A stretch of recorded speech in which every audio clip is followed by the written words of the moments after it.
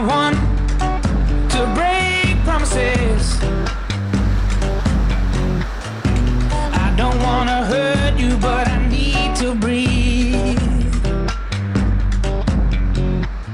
At the end of it all, you're still my best friend. But there's something inside that I need to release. Which way way is wrong? How do I say that?